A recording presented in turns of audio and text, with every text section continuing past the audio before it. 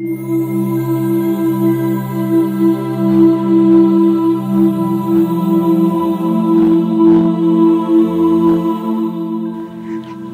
October മൂന്ന്.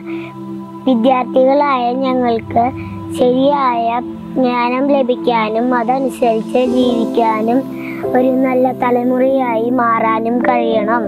ജ്ഞാനത്തിന്റെ പുസ്തകത്തിൽ ആറ് പതിനൊന്നിൽ ഇങ്ങനെ പറയുന്നു. എന്റെ വചനത്തിൽ അഭിലാഷം അർപ്പിക്കുവിൻ. അവയോട് തീവ്ര അഭിനിവേശം പുലർത്തുവിൻ. നിങ്ങൾക്ക് ജ്ഞാനം ലഭിക്കും. എന്ന തിരുവചനത്തിന്റെ വെളിച്ചത്തിൽ വിദ്യാർത്ഥികളായ ഞങ്ങളെ നിറയ്ക്കണമേ.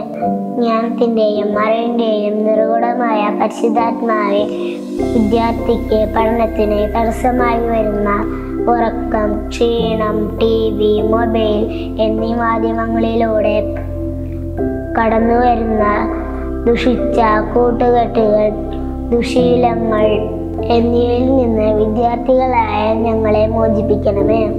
പ്രായത്തിലും ജ്ഞാനത്തിലും ദൈവത്തിന്റെയും മനുഷ്യരുടെയും മുമ്പിൽ വളർന്നു വന്ന ദിവ്യ ഈശോയെ വിദ്യാർത്ഥികളെ സംരക്ഷിക്കണമേ.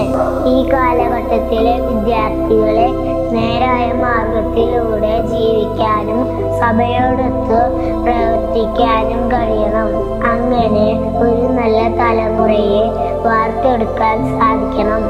ഈ മാതാവിന്റെ മാസത്തിൽ ഈ ഇടവകയിലെ എല്ലാ വിദ്യാർത്ഥികൾക്കും വേണ്ടി പ്രാർത്ഥിക്കാം.